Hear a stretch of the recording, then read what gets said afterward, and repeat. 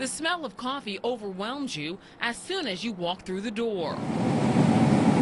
To founder and owner Danny O'Neill, it's the smell of success. We always want it to be the best. Always, always, always. And not just the best at making and bagging coffee, but the best at being a leader in the community. Danny's love of coffee started while on a foreign exchange trip. I went coffee picking with my friends.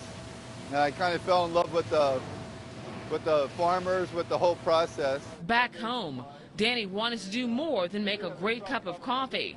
To start with, he wanted the growers to receive a fair price. They can take better care of their, their farm workers.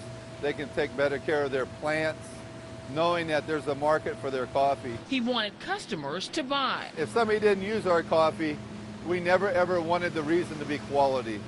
We wanted it to be price or something else, but never, never quality. And he wanted to build a business that gave back to the community. Maybe 10 times bigger. O'Neill grew up in Iowa. You just did all these kinds of things because it was common sense that you do them. And just like on the farm, the coffee business took long days and hard work. And sometimes we refer to some portions as the dark, the dark time because truthfully, I was ready to sell product for like three, three months before I actually sold one single pound of coffee. Today, the Roasterie boasts two cafes and imports hand-picked coffee beans from 31 countries.